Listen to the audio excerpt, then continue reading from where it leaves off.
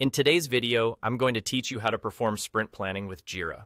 Whether you're a team lead or a project manager searching for an efficient way to manage workloads and streamline your project progress, this guide will walk you through the simple steps of setting up a Scrum project in Jira and organizing your team's work using sprint planning.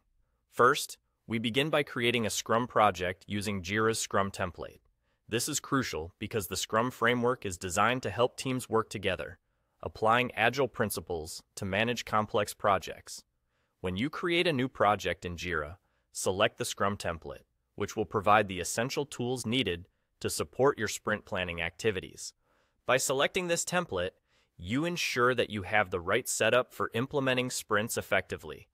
After setting up your Scrum project, Jira automatically generates two main tools for you, a backlog and a sprint board. These tools are central to the Scrum process. The backlog is where you collect and organize work items, often referred to as user stories, tasks, or issues that need to be tackled. It's the comprehensive list that your team will work from in future sprints. Once you have your project set up, the next step is to add your list of work items to the backlog.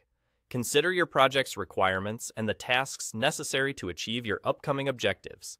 You can add each task to the backlog, ensuring they're properly described to avoid confusion later. This step is essential to establish a clear vision of the work scope for your team. After you have your backlog populated, it's time to plan your sprint by selecting the tasks you want to focus on for the upcoming sprint. This is where the flexibility of the backlog comes into play. Simply drag the selected work items from the backlog section over to the sprint portion. Here's where Jira helps make the sprint planning process intuitive and dynamic providing you with a clear visual layout of your planned work scope. Once you've determined which items will be part of the upcoming sprint, you're ready to initiate the sprint. Navigate to the top right corner of the interface and click on Run Sprint. By doing this, you formally start the sprint, making those items visible on the sprint board. The sprint board becomes your central hub for tracking progress, allowing you to easily manage and review each task's status during the sprint cycle.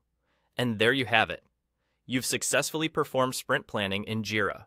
By following these steps, you set a solid foundation for your project's success, ensuring tasks are organized, manageable, and completion is always within reach. Using sprints, your team can minimize inefficiencies, focus on what's essential, and continue making progress steadily through agile practices.